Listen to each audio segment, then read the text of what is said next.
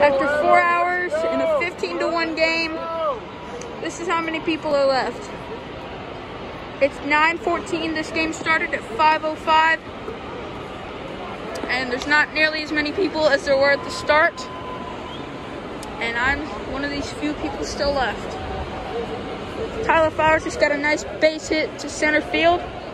So I hope we can build on that, score some more runs, even if we don't win.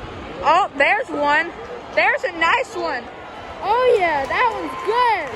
Yeah, that's gonna score. Oh, he's not gonna go. Dang.